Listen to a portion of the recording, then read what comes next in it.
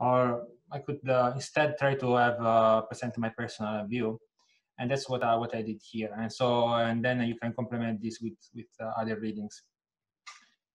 Um, so the first question is, uh, what's the ultimate goal uh, when you write a paper? Um, you have to think about uh, creating impact, and and in the scientific community, as already said, this means others reading, others citing your work, others getting get inspired by your work. And so, and when um, you get a paper accepted, then is that's not uh, the ultimate objective. Uh, okay, okay, I got the paper accepted, uh, so I will graduate. Um, you should not think that you should aim to be above the bar, but uh, um, the final objective is to really inspire others to do the research because you will stop a certain point, others will uh, take it from there um, based on uh, their, uh, their view, their uh, personal experience. Um, and linking to uh, the connection with uh, industry or uh, intellectual property, um, your paper is also the best way to show that what you have, your idea works. And so if you want to submit, for instance, a patent, um, you want to protect the idea behind, the evaluation your paper is the best way to show that the idea actually works. And so both if you uh, the, both considering the objective of inspiring others and the objective and uh, of uh, creating um, intellectual property if you work in a company in both cases the paper is uh, um, as a central role. Um, the, the question is when should i start to write the paper this is very much related to also when should I write the thesis uh, as presented by Borja. So the paper is not the last step. So it's not that uh, you do um, your uh, simulations and then you um, you try to write a story around that. Um, ideas from day one research. It will uh, greatly help to organize your ideas, understand uh, why your problem is important, and perhaps you will also think about uh, uh, to uh, a more interesting problem than what you thought in the beginning. Um, and, uh, and in this process, you understand how to pitch your ideas to different um, communities, to the research community, to um, to the society at large, um, to your relatives even. So uh, you need to um, always, and depending on the context, uh, uh, find a way to to show that uh, you, you master uh, the problem and then you have a, you're trying to solve an important problem. And uh, so that if you don't understand, uh, uh, so not, it's not, this is not only about delivering uh, to others, but it's also for yourself because if you're not able to understand the problem yourself, nobody else will understand it. And so this, the process of writing the paper will be a great help um, doing that, you will able, also be able to communicate to others uh, uh, what you are doing. And they will get inspired by that. Um, so uh, when you when you try to write the paper, uh, so you you can try to uh, you can say, oh, I use some simulation and I write a story around that. Um, but uh, honestly, at the end, what you're trying to do is to contribute to, some, to something bigger. Try to understand uh, what's the thing you're trying to solve that's bigger, even though um, what your implementation you're doing uh, and uh, the solutions you uh, you have isn't perfect. Um, um, but uh, this is for me your, your um, uh, you, you, should start from there. So, so what the bigger vision. And from there, you go step by step with all the necessary reasoning, including the um, anything you need to, to show your ideas uh, works with your implementation and and uh, explaining uh, your, with your results that the idea we have been presenting is valuable and you have contributing to, to solve this important problem. Um, so the when you write a paper, most likely you're you're not alone. Uh, and so the, there are researchers uh, like the students contributing uh, um, often um, with a, a, higher weight, but the, there are others contributing as well. So authors are those researchers that uh, significantly, significantly contribute to the execution of the paper. And so, uh, and they've read and approved the final uh, version uh, for publication. Um, so and uh, but also authorship doesn't come only with benefit; it comes also with some responsibility. It's responsibility for the content. Uh, so um, so you, you acknowledge uh, that what's uh, what's in the paper. You acknowledge uh, that the, the study has been performed in a um, with this uh, data set and, the, and you are willing to take responsibility uh, and for um, any anything that uh, um, any, any, issues related to a, um, content that is being copied uh, from other sources and so on. Uh, so uh, which goes in the direction of plagiarism and so on. Um, so um, in, if any author in uh, for this is of course as we already said stressed it's extremely bad uh, um, practice. Um, but any author that is uh, signing the paper uh, must also take into consideration that he must read the paper taking this responsibility in, in mind. Um, a bad practice that is um, often applied in academia is to add an author only after uh, there is a, little interaction. And uh, that often happens because uh, the typical problem of uh, publish and perish in academia, where uh, you, you keep uh, publishing uh, or uh, you get out from academia. and so you, you try to get into paper as an author just after a little chat. And so this um, creates very often frictions in, in academia. Um, so um, uh, always try to avoid this and uh, fight for authorship. Um, and um, the authors, this is about the, the, authors, but then it's also about the author order. And that's something that uh, I typically like to, to discuss at the very end. Um, often is the PhD student uh, the first author, but this doesn't need to be always the case. So it, nothing must be given for granted. So if the student is the one, the PhD student is the one that contributed the most, um, then that's the case. And the last author is typically the most senior one. If you if you try to look up uh, the author orders before, um, this can create frictions uh, among the authors. Uh, uh oh yeah, I was uh, uh, and then or authors that are get oh, some author can get more relaxed. It's okay, I'm already uh, listed and uh, second author, and then okay, now I think about something else. Uh, so it's at the very last thing that you decide about authorship and author order. Um, and in some community, uh, it's also about alphabetic order. Um, I don't like that personally that much, but uh, it's yeah, it depends on the um, yeah. This uh, also community nation by nation can be uh, can be applied. Sometimes also you have uh, uh, two uh, authors which are listed as first author, so it's difficult to identify which one contributed the most, and so you can list both of them, and so you add a footnote saying that both authors contributed equally to the to the paper.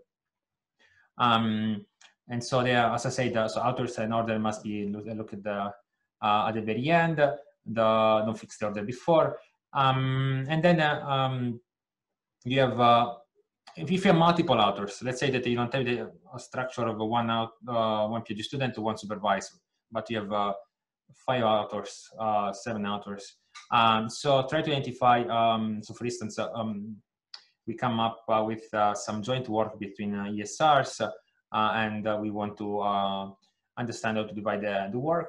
And so I like a person to do divide and conquer. You, you take the, this is the, the outline of the paper and I, I try to give this section, this um, author, this other section to this other author.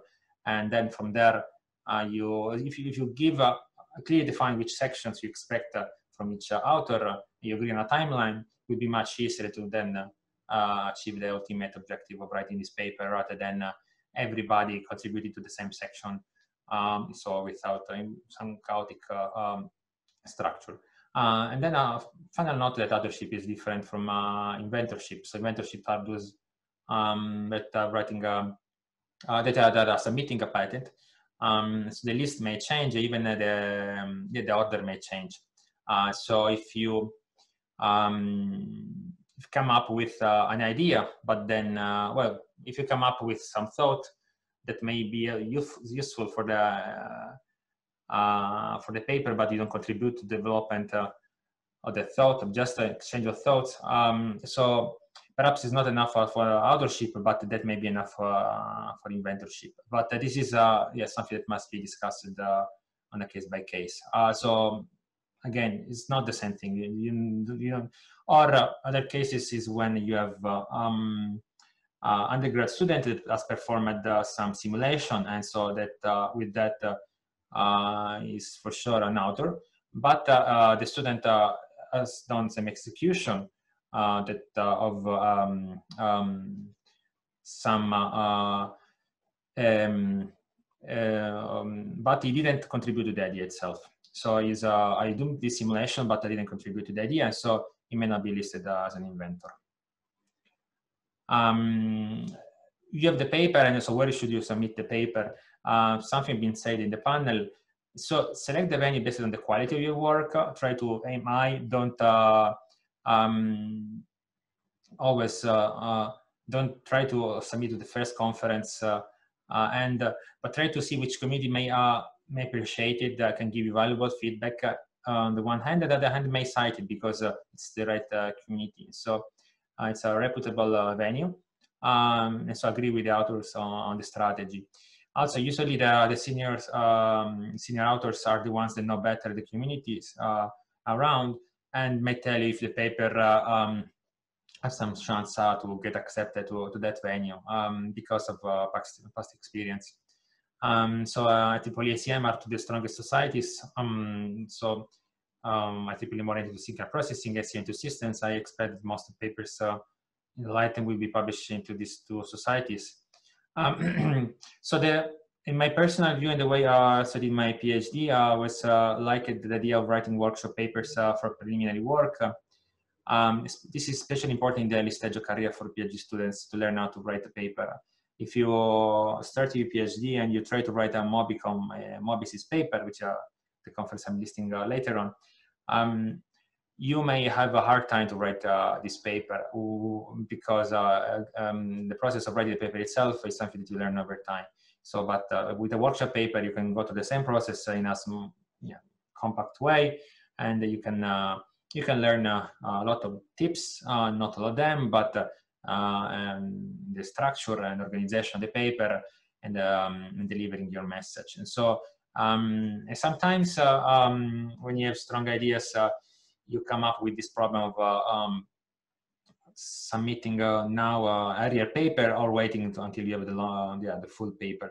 Um, so um, personally, um, I prefer to wait until I have the, the strongest paper, uh, unless there is some uh, uh, constraint in terms of graduation and so on. But if you can get a strong paper and show that you not only have the idea, but you show that that it works, you're looking at it from different angles and uh, and um, this uh, this give you a lot of value and this uh, can give you um, create a large impact so um, often a journal is the last step um, at least the way um, this is done in with system papers which are the ones that we we, we target here at, IMDEA um, so the you do that to archive your idea. So, if, for instance, you have a, you can have a preliminary work workshop paper, uh, um, sometimes yes, other times not. You have then the full paper, which is um, showing your uh, idea, but then uh, the execution of this uh, full paper, uh, you show that, uh, well, actually you have valuable feedback and there is some additional uh, work to be done to, um, to make, um, um, yeah, to conclude, to conclude this line of research. And so you can do that writing the journal. So the I'm giving an example of um, paper uh, writing. So I like uh, to have a, a title that uh, can be on the one hand catchy and the other hand can uh, represent uh, well your work. Uh, this is an example um, with we we have two technologies that we are um, marrying together and then so we, we come up with some um, name that uh, may represent what actually is happening with these technologies uh, that uh, are jointly used.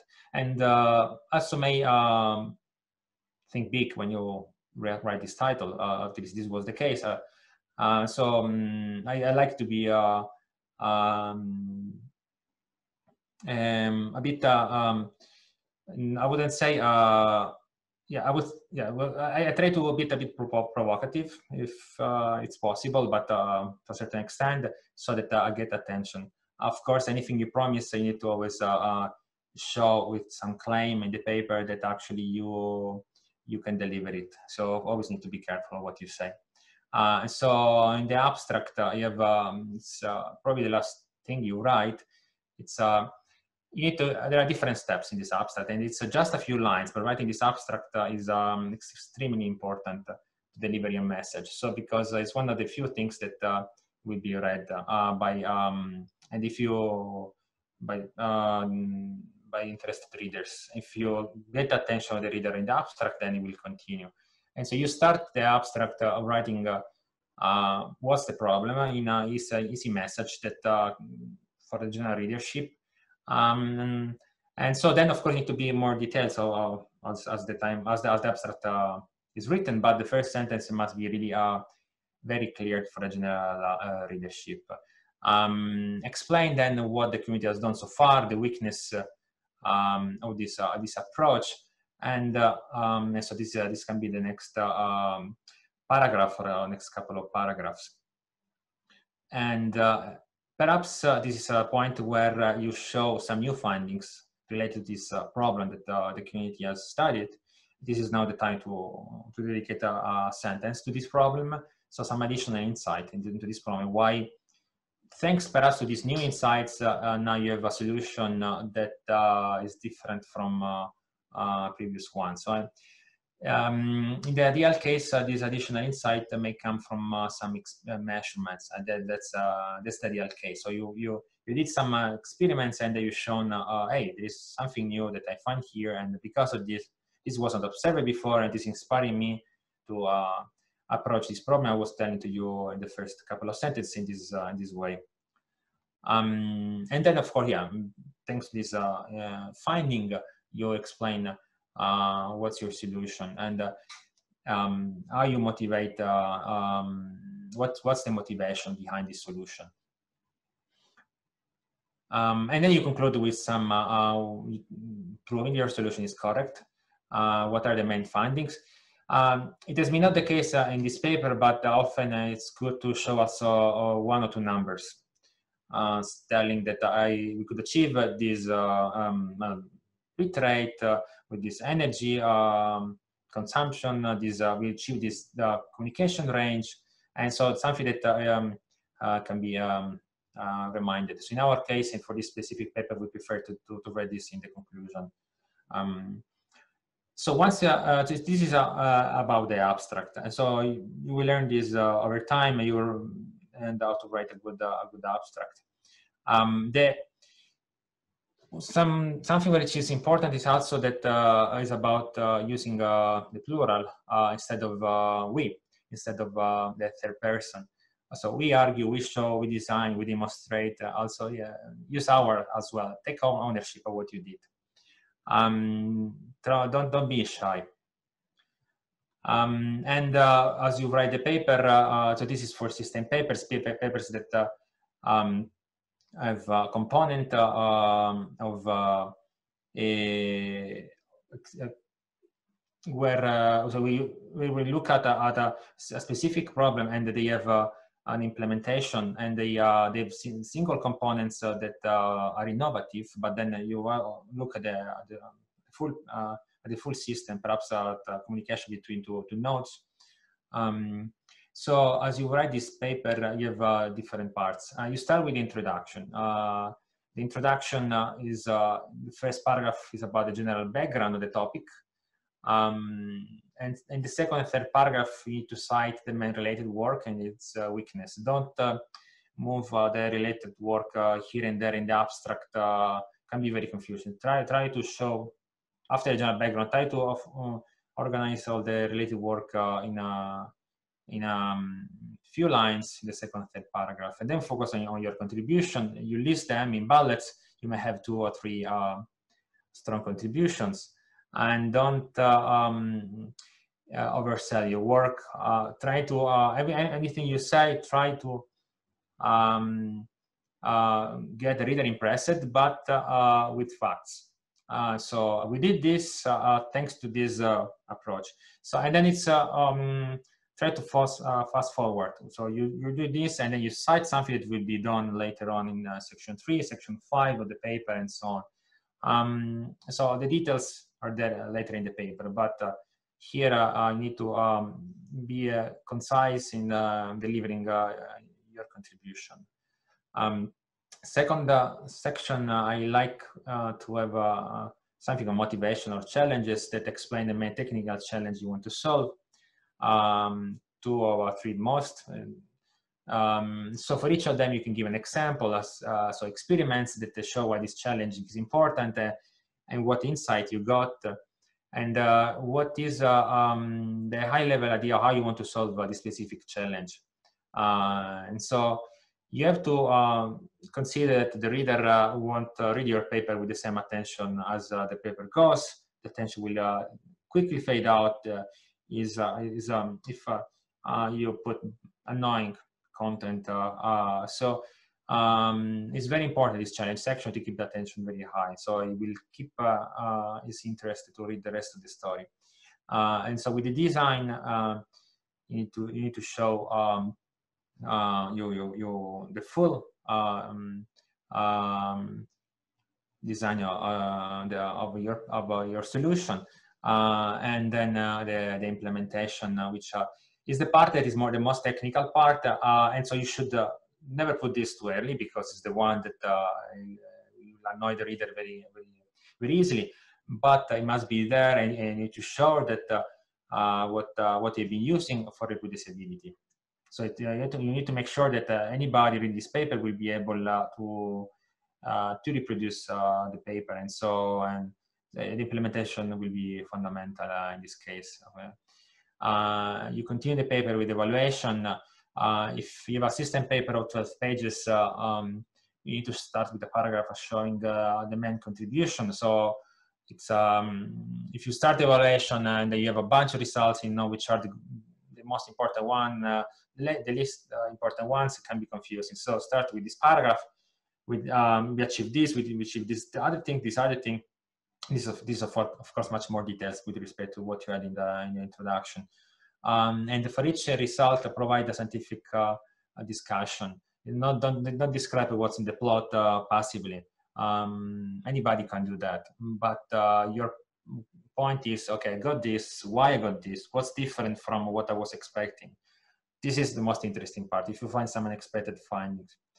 Related work, uh, um, this goes uh, very often after in, uh, in long papers. Um, um, CRT committee goes after introduction, uh, but personally I don't advise this for 10, 12 pages uh, for the reason uh, that uh, you need to keep the attention high. Um, if you start presenting related work, uh, um, it's um, in, the, in the beginning, uh, you're delaying the moment of introducing the key component, the key research component of the problem you're trying to understand.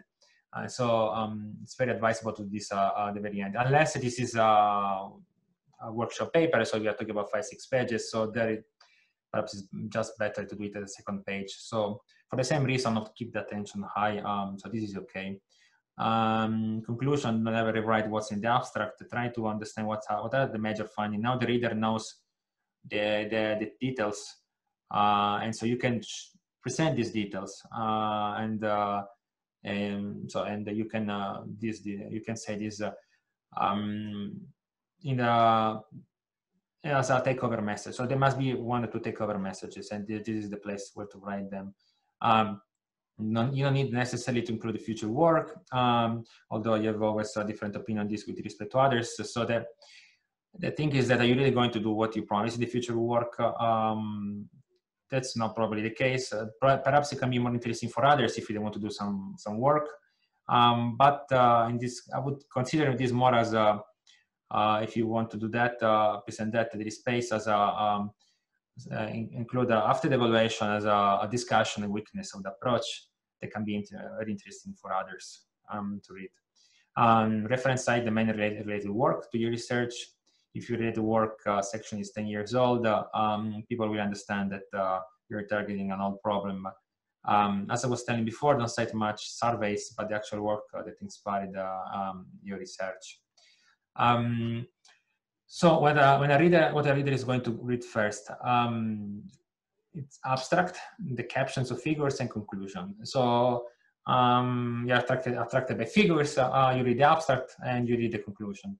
Uh, so if they look interesting, you may read the rest of the paper. Otherwise, perhaps, yes, I don't have enough time. It's not enough, enough interesting for me. Uh, so it's very important that these three components are, are well structured. Um, so the, um, we, we're talking about abstract and the conclusion about figures.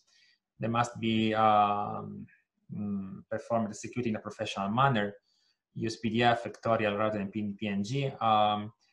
A graph is often the only place where data is get published. Uh, so it's only place where if you try to reproduce a work and you don't have access to the data, uh, where is the place where you compare your results against two. Uh, so they must be easy to read. Uh, even if the paper is uh, printed in black and white, this is a, uh, um, yeah, consider this always. the, the reader is printing the paper in black and white. Don't try to always have a, um, straight line, different colors. It will be impossible to distinguish them in black and white. Um, use as much as possible the, the same font type. Uh, so yeah, in Linux, uh, you can check this with PDF fonts. Don't uh, start using different, for each figure, a different font type, uh, which is different from uh, the main paper, and this looks very ugly. Um, so, and uh, always the thumb rule, I say to, to my group, the legend, uh, the size of the figures must be a similar one as the one of the caption. So uh, very tiny font size in the figures make mm, it's impossible uh, to read. Uh, so consider uh, if uh, if you're making the, mm, the um, they always consider this rule should be the same one as the caption. So it must be easy to read for any age.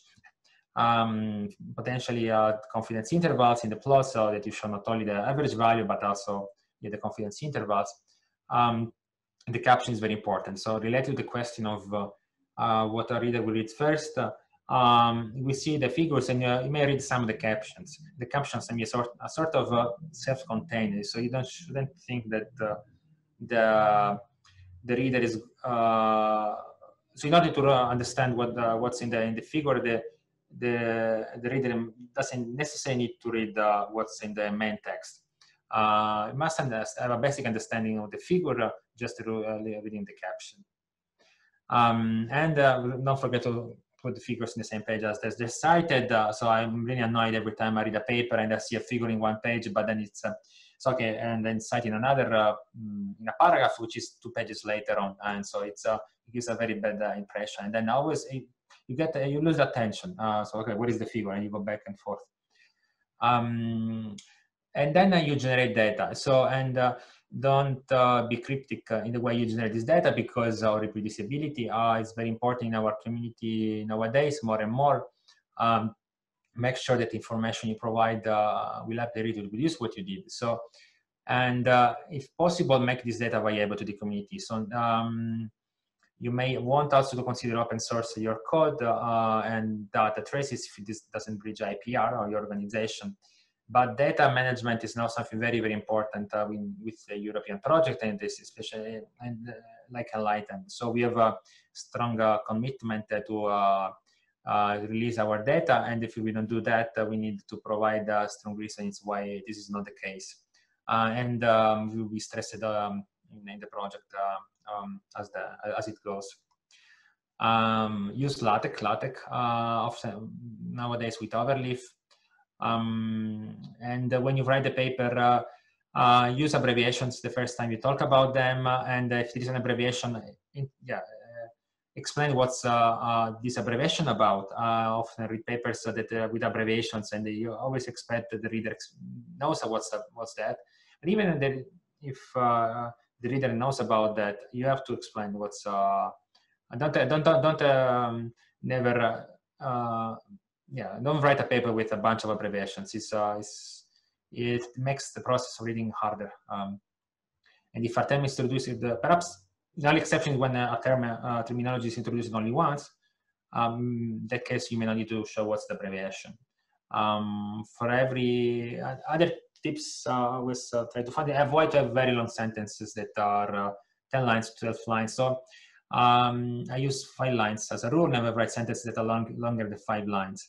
Um, so, and that makes it easier for for a reader to, to read it. Uh, um, if you're out of space, don't start using um, uh, vSpace to save more space. Try to rephrase sentences. when you do that, you notice that uh, there is a lot of uh, verbose text uh, that you can start uh, rephrasing the same thing uh, in much better way. and when you do this job, I like always to look for this paragraph that adding one single line just for, just for a few words. And by doing that, you save one line. And then uh, yeah mm, doing this process uh, you um, uh, you you are back you don't have uh, it's very typical oh yeah we are running out of space. Don't worry. We will take care of space. Space is never a problem. It's a matter of how you phrase sentences. Um, and uh, check uh, carefully the template for submission. Submission single blind double blind um, so single blind you you can reveal the authors double blind authors must not be revealed. Uh, and so there are more, uh, so check the rules. Uh, paper rejected two days after submission because of these mistakes is something that you must absolutely avoid after all the work you did. Um, so last two slides, uh, if uh, paper is rejected, uh, don't get depressed, fight harder. I always um, um, get this as a challenge.